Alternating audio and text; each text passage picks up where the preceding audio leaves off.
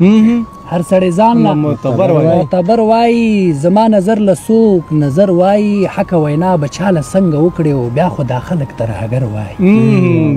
حق وینا بچاله څنګه وکړي او بیا خو دا خلک تر هګر وای او کوم زخیا شعرونه ولیکم او ما ته فرمان وای کسکر وای خراب بزان ته پرې مازغه کړی یاره نن چې له چا سره څوک خکړی یاره خراب به ځان ته پرې مازغه کړي یاره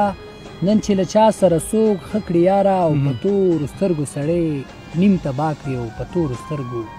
سم ویشته کړي یاره واه واه ډیر ښه دی یو ځل بیا تور سترګو سړی نیم تبا کړی په تور سترګو سم وشته کړی یاره خلک پرې اپیل د 302 نه کوي خلک پرې اپیل د 302 نه کوي خو چې په پوری تور رانج کړی یاره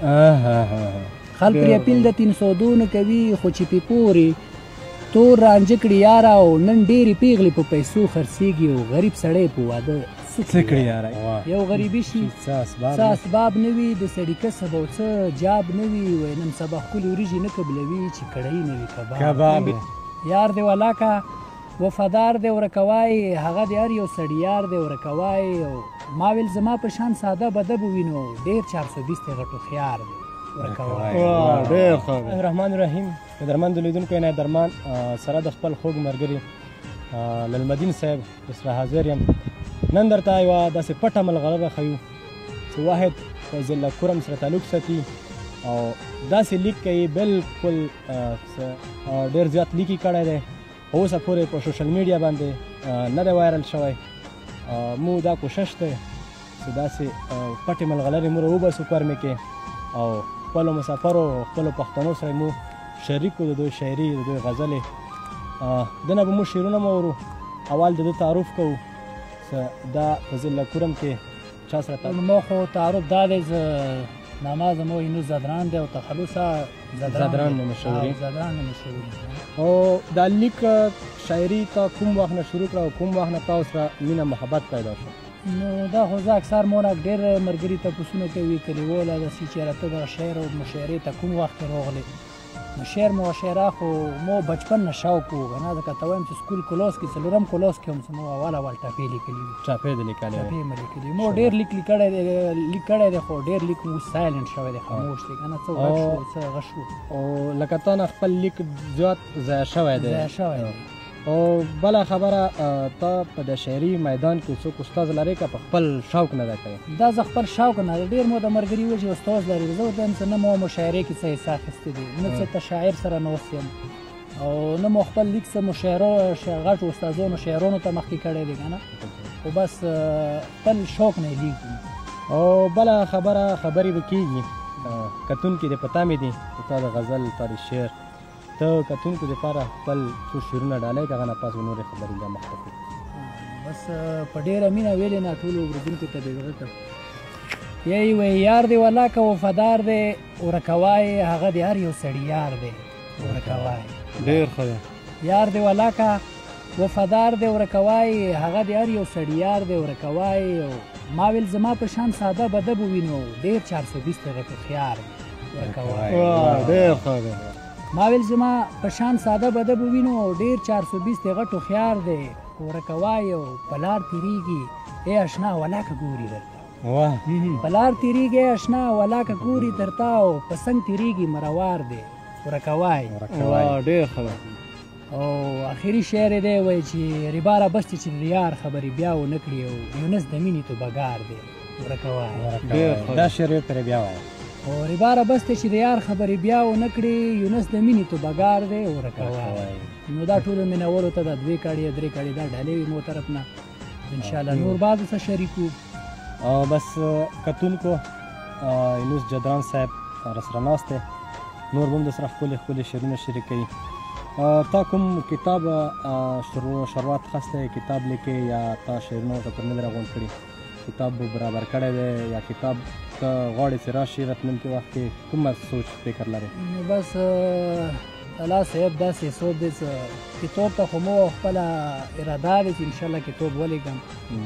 او کې لیکو چاپ کم خلکو ته خپل مینولو ته دا خپل نظر وړاندې کم کنه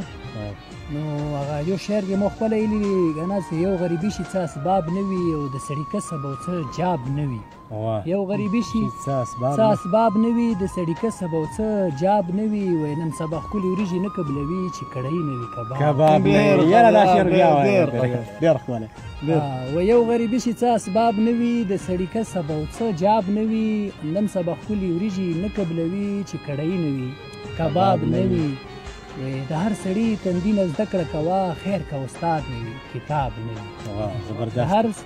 سړي تندي نه ستړي کوه خیر که استاد نه وي کتاب نه وي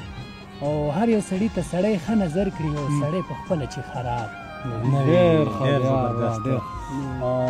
ماشاءالله ډېر خوندور او د تا د کلمو د تا د غزل او د شعرونو نه خوند واخلي نو کوم غزل وي د سره نو پرمیشي غزل و یو مرګره مو هغه مو ته د دوی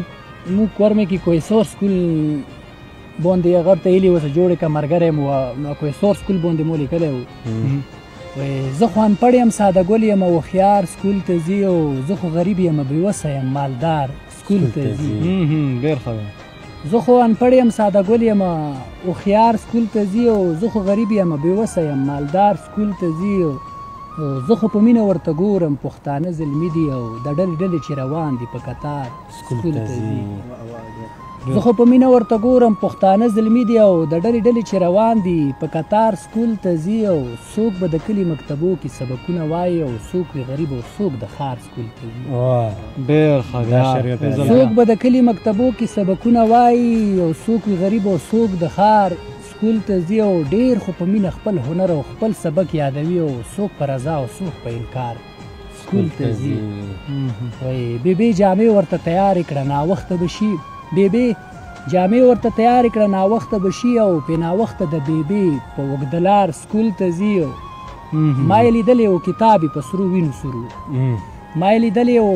کتابي په سرو وینو سرو او د تن په وینو پښتانه هم خسنګار سکول ته ځي او وای زیړو جامو کې ښکلی ښکاري د نظر نه شي او زدرانه یار دی نن سبا کې کوه سار کوه سار سکول ته ځي ډېر یار مننه یار د مسافر ورونو لپاره یو څه غزل وي او که شعرونه یې ورته وړاندې بېل دې لپاره داسې شعر داسې غزل ورته وایم چې بلکل چې موږ زړه کې هم لاره وکړي ولې چې موږ مسافري نه دی کړې چې موږ زړه کې هم لاره وکړي بس مینوالو تاسو ټولو دپاره خو زه ته څه یم چې لول مدین بای او عنایت بای وی هر سړی ځان له معتبر وایي زما نظر له څوک نظر وایي هر سړی ځان له معتبر وایي معتبر وایي زما نظر له څوک نظر وایي حق وینا به چا له څنګه وکړي او بیا خو دا خلک ترهګر وایي حق وینا به چا له څنګه وکړي او بیا خو دا خلک ترهګر وای او که مزخیه شعرونه ولیکم او ما ته فرمان وای کسکر وای یو ځل بیا ډیر خدای یو ځل بیا ورته که مزخیه شعرونه ولیکم او ما ته فرمان وای کسکر وای زړګی سم شلیونه خو نه یو چاله جانان چاله دلبر وای ډیر خدای زړګی سم شه لیونی خو نه یې او چاله جانان چاله دلبر وایي نو عنایت بای دا تاسو د پوره خوس کر ډالې او مسافر ورونو د پوره ډېر ډالې نو تاسو خبره وکړه چې یاره کومې په سګې کېږي او کنه تنقید خو خامخا کېږي دا خو موږ باندې کېږي دا مسافر ورونو د پاره ډالې دی مسافر ورونو د پاره کنه وای خواته مې یاره که یو وار راشي او جانانه بیا که په دې لار راشي خواته مې یاره که یو وار راشی او جانانه بیا که په دی لار راشی او ستا په راتلو خو دنیا نه ورانیږي ستا په راتلو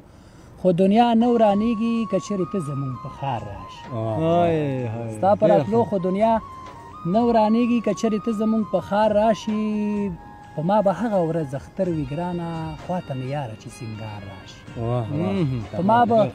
هغه ورځ اختر وی ګرانه خواته می یاره چې سنگار راشي او سره د لس بچو قبول می سره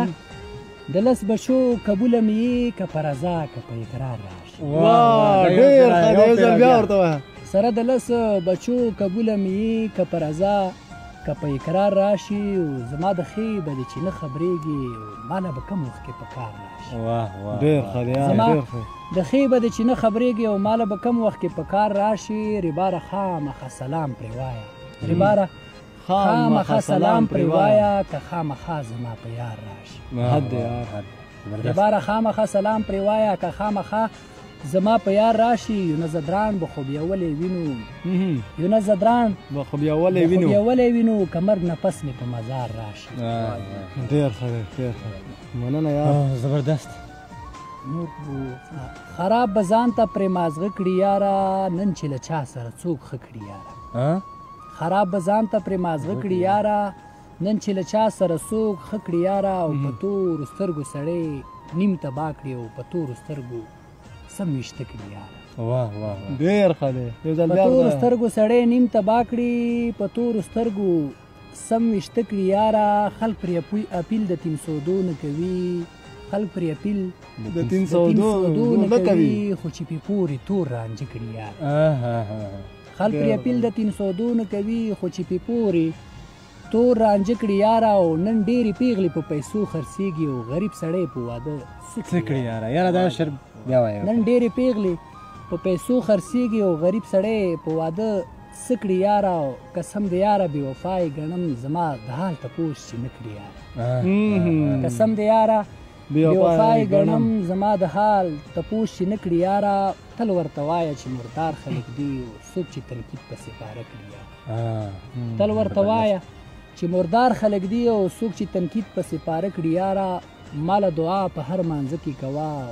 ځدران دعا په هر مانځه کړي یار زبردست صحیح دی ان شاء الله قدرمندو لیدونکو امید لرم چې خوښ شوي مې ښکلې کلمونه او ښکلې غزل شعرونه وو زدران صاحب درته ډالۍ کړو ان شاء الله بل پروګرام کې به دا نه ښکلې ښکلې شعرونه نور ما په لوی الله سپارم ښه ژوند